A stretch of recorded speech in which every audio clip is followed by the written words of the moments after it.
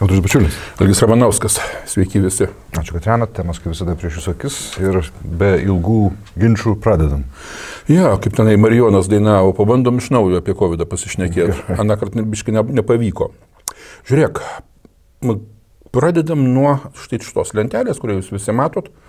Ir tu, Algi, matai, tai čia yra statistikos departamentas, jie paėmė, padarė labai gerą darbą iš tikrųjų. Jie paskaičiavo... O, kiek dabartinės pandemijos metu mirčių Lietuvoje perviršys e, palyginus su vidurkiu 20 metų. Tai yra vadinasi, duomenys tikrai patikimi, nes per 20 metų tikrai nusistovi, čia ką mhm. mato toj bangoj. Ir atėjo suskaičiavo, kad perviršys m, šiai dienai nuo pandemijos yra 1110 mirčių Lietuvoje. O, tai yra, nes iš viso o, 6100 yra, o vidutiniškai turėtų būti 4900. Bet ką jie labai teisingai pastebėjo, kas yra pats svarbiausias dalykas, nes nuo COVID o, mirė tik tai 350 asmenų. O vadinasi, likę 850 yra pašalinės uh, pandemijos sukeltos mirtis. Mhm. Tai yra tai, apie ką buvo šnekama turbūt nuo pat pradžių visų uh, karantinų ir, ir kitų dalykų, kad vaistai, nu, vaistai plačiaja tų žodžio prasme, kad pandemijos stabdymas gali tapti labiau nuostolingesnis negu pati pandemija. Šiandien mes turim praktiškai mm, du trečdaliai neplanuotai mirusiųjų.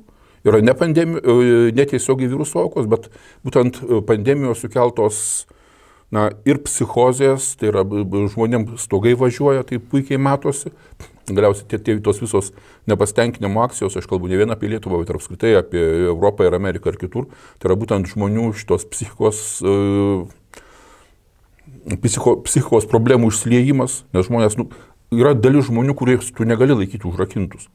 Tiesiog negali. Tikrai yra tokių. Va, ir, ir, ir jie eina iš proto natūraliai. Šalia to paumėja visos kitos lygos nuo tų pačių nervų nuo, nuo neaiškumo, nuo nebūties žmonės gazdinami nuo ryto iki vakaro, ir galiausiai viešpatį netgi šitas statistikos portalas, uh, kaip ir tokia nu, oficiali valstybinė įstaiga, bet už, uždėjęs ten tas bacilas, supranti. Kaip ornamentą. Kaip ornamentą, nu tai iš vis. Parodom, ja. nu, parodysim, o, padarysim, skinam, čia yra kažkokia nu, beprotybė po velnių. Taip, taip, taip paprasčiausiai negalima, supranti.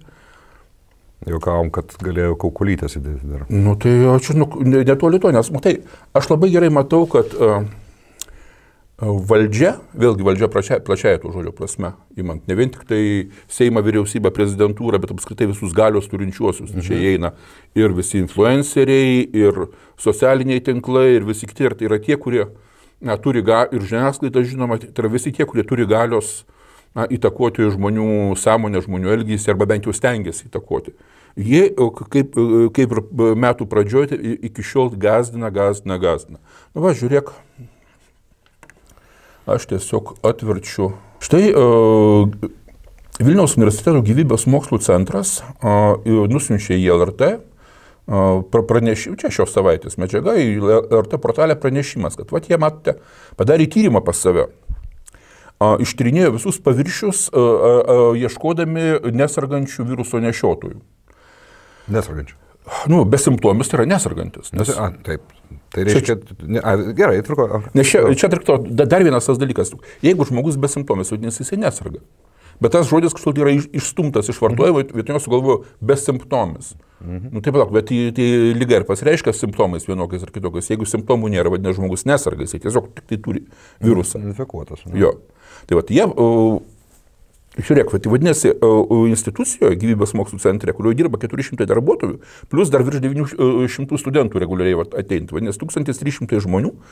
Tai vadinasi, jie kaip kriminalistai apėjo visus pakampius, laboratorijų šaldytuvus, jungiklius, duris, prietaisus, klaviatūras, kad tik tai nori visur ėmė mėginėlius, aiškinosi, yra ten tas virusas ar nėra tas virusas. Na, va tie kaip teigia, jiem pavyko rasti du nesargančius darbuotojus pas save. Mhm. Ant to 1300. Mhm. Užtat uh, viruso pėdsakų rado visur, kai kur masiškai.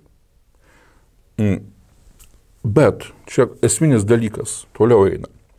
Negalėjome ir negalime atsakyti, ar tie paimti mėginiai turėjo aktyvų virusą, bet tai, kad toje vietoje kažkurio metu buvo žmogus aktyviai nešiojantis užkratą, pavyko nustatyti. O, o nustatyti, ar tas virusas tai yra pavojingas ar ne, jie negali, nes Lietuvoje nėra tokių laboratorijų apskritai. Mhm. Tai dabar žiūrėk, koksai pranešimas eina visuomenė, kad vat, visur virusai, ties ar, ar, tie, ar, tie, ar tie virusai yra užkra, užkratingi ir pavojingi, ne žodžio nėra, nes mes negalim nustatyti šito dalyko. Tai kokio velnio darė tą tyrimą? Surado du darbuotojus, kurie nesargantys yra, bet su, su, su virusu. Bet tai tokiu atveju, bet žiūrėk, kita uh, mintis prašosi. Tai jeigu visur to viruso pėdsakų yra, tokioje didelėje institucijoje, o viso labo du nesargantis, tai kaip ten su to pavojingumu? Va čia, matai, čia yra pas uh, esminis dalykas, dėl ko atsiranda tiek daug žmonių, kurie abejoja visais tais uh, valdžios ištransliuojamais aiškinimais, kaip reikia saugotis ir ką. Nėra jokių aiškių atsakymų. Tai yra, žiūrėk, mes iki šiol nesam, e, ne, ne, neturim patikimos informacijos apskritai, kaip tas virusas atsirado. Taip, mes žinom, kad tai nebe šikšnosparniai. Bet daugiau kol kas neaišku, galbūt laboratorijų sukurtas, galbūt kažkaip atsiradęs, bet aiškumo nėra. Mes nežinom tiksliai, kaip jisai perdodamas. Yra tik spėliojimai. Rolo šalinių būdų čia spėliojimas? Bet tai klausyk, o kodėl, nu žiūrėk, Danai berots, berots Danai darė uh, bandymą. Tai yra, paėmė dvi grupės, viena nešiojo kaukės, kita nenešiojo kaukės. Paskui žiūrėjo, už, už, užsik, sakoma, užsikrė, užkrint, povelnių kaip čia, užkrečiamumą šito dalyko. Tai pasirodo, kad tie, kur, ta grupė, kur vaikščiojo su kaukiam, praktiškai pagal užsikrėtimą praktiškai nesiskyrė tų, kurie be kaukių vaikščiojo. Vėlgi, kokios kaukės? Atsiminė, kaip pati pradžia buvo nešioti, nešioti kaukės, šalia to, kad Pati pasaulio sveikatos organizacija pastoviai painiojosi, ar jas verta nešioti, ar jas neverta nešioti. Bet vėlgi klausimas, kokios kaukės tos reikalingos. Vėlgi, niekas negali duoti žmonėms jokių aiškių atsakymų. Vieni sako taip, kiti kitaip. Dabar vėlgi, dabar jau mums kelbė, kad mm, va tuoj, tuoj, tuoj bus skiepai.